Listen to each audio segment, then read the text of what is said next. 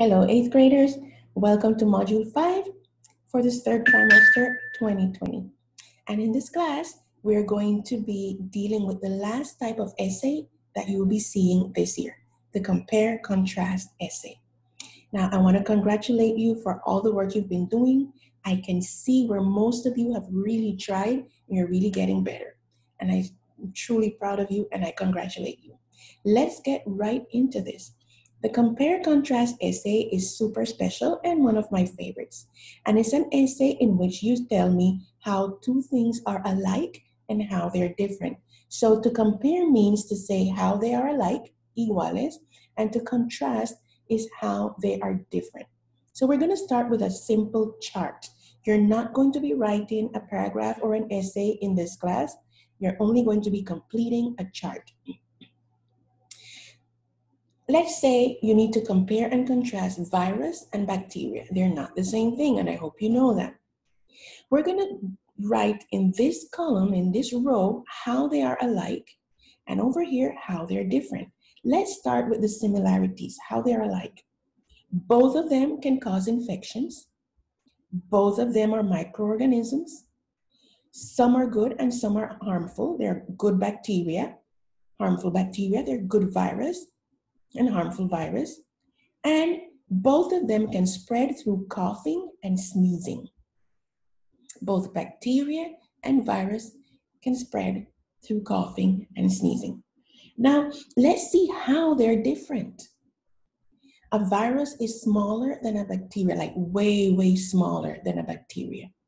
A virus is not a living thing. And you need to be very clear on this.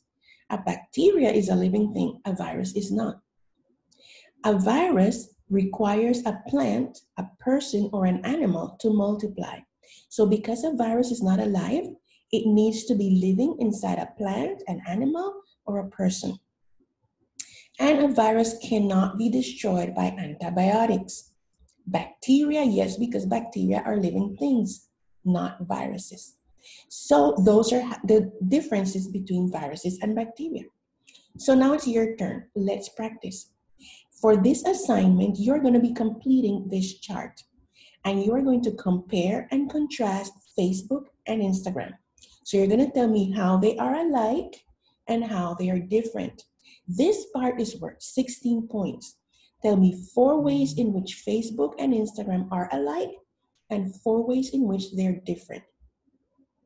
And the second part is what would be a good title for an essay on this topic? If I should tell you to write an essay comparing and contrasting Facebook and Instagram, what would be a good title? And you give me that. That's worth five points. Please remember how titles in English are written.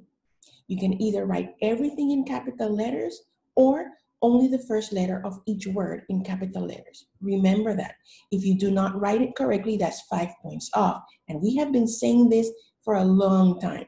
So make sure you get this right. One more time, you are not writing a paragraph or an essay in this assignment. You are completing this chart and giving me a title correctly written in English. If you have any questions or any comments, please, please, please send me an email to itmustbeenglish at gmail.com. And I'll be happy to answer you. I'm super proud of you. You're doing a great job. Follow the instructions, pay attention, and have fun with this. See you next time. Bye bye.